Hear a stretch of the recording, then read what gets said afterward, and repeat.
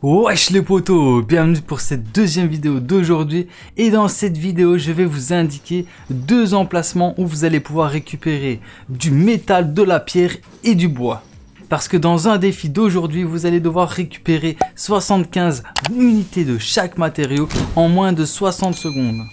Alors bien entendu j'ai trouvé une petite astuce pour vous aider à réaliser ce défi. Donc c'est parti pour ma première astuce, c'est d'aller au camp de la morue.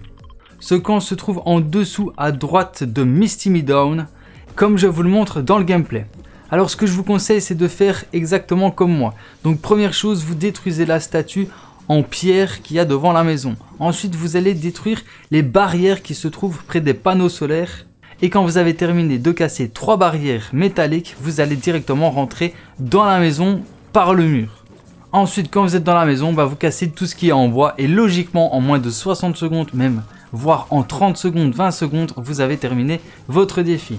Et bien sûr, pour réaliser ce défi, il faut aller en foire d'empoigne, comme ça vous avez des récoltes de matériaux plus importantes.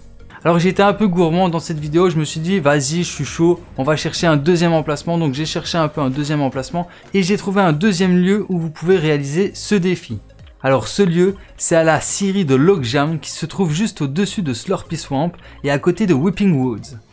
Alors là, pareil, hein, je vous conseille de faire exactement comme je fais. Vous détruisez la première petite voiture qui est là. Ensuite, vous vous dirigez vers la remorque du camion. Vous détruisez la remorque et ensuite vous détruisez le camion.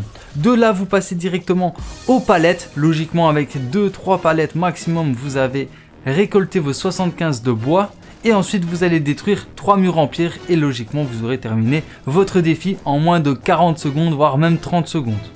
Donc voilà pour mes petites astuces et j'espère qu'elles vous auront été utiles. Si c'est le cas, n'hésitez pas à liker, à partager et à vous abonner si c'est pas encore déjà fait. Et sur ce, moi je vous dis à très bientôt pour plus de vidéos. C'était Soit Cool Mec et ciao, peace